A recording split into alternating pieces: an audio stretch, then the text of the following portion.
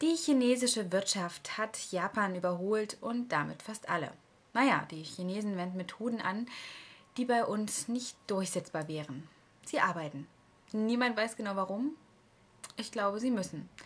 Wir sollten ihnen etwas Arbeit abnehmen, damit sie mehr Zeit für Burnout-Syndrome haben. Aber wer soll das machen?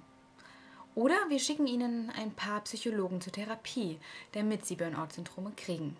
Für die Chinesen läuft es so gut, es gibt gar keine neuen chinesischen Restaurants mehr für die Geldwäsche aus krummen Geschäften.